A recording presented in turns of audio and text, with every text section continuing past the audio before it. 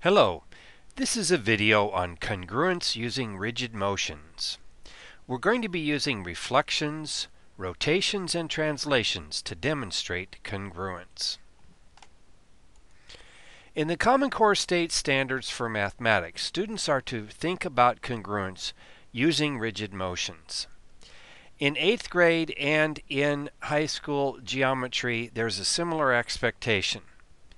Given two triangles or two figures, describe a sequence that, that exhibits the congruence between them.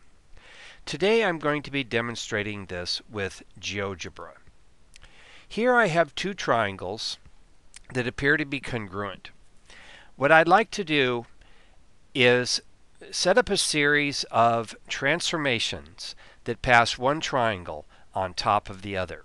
And I think I'm going to try to move tr the blue triangle on top of the red triangle. The first thing I need to do is label my triangles so that I can talk about them. So I'm going to start here by making a polygon with GeoGebra, and I'm going to call this triangle ABC. I'm also going to label the red triangle.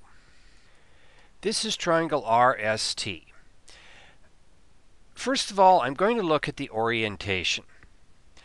In this triangle, I have ABC. As I go around the triangle, I see that ABC is counterclockwise. The angle corresponding to angle A will be the larger of the um, acute angles here, R. S looks like it might be a right angle, and T is my small acute angle. When I go RST, it is also going counterclockwise around the figure.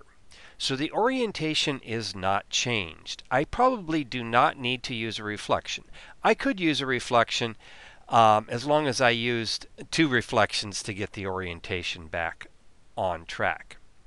There are going to be a number of different ways that I could transform these triangles, I think I'm going to start by translating. And I want to translate so that point A matches up with point R.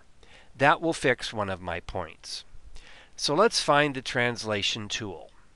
The translation tool in GeoGebra is right here, translate an object by a vector. And the first thing you do is click your object, then the vector. So I'm going to translate this polygon. And then I'm going to translate the vector from A to point R.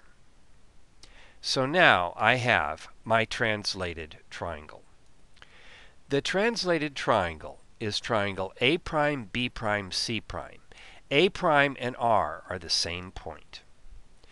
Now I'm going to want to rotate around point A prime so that B prime will match up with S. First thing I need to do is create an angle. So I'm going to do my angle tool. Right here is the angle measurement tool.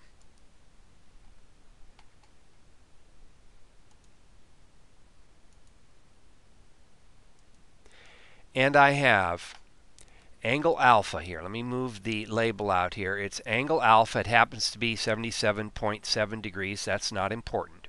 But that's the angle that I'm going to rotate this polygon in order to get it on top of this polygon.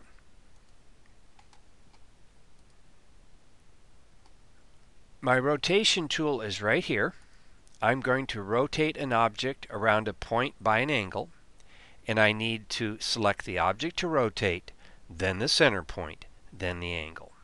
So my object to rotate is going to be my polygon.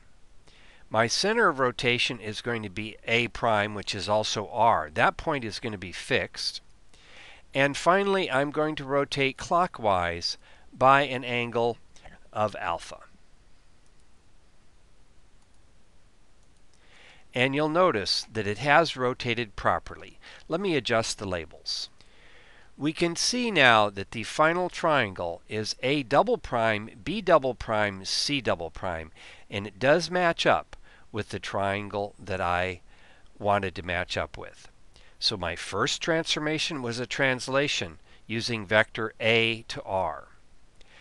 My second transformation was a rotation clockwise from B prime to R to S. Have a great day.